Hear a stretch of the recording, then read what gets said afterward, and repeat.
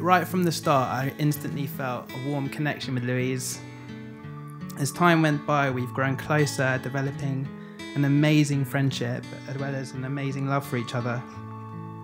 I love her radiant, funny personality, and this is another reason why I'm so happy that I can finally call you my wife. I love you more than ever, and I'm so excited to build a great life together.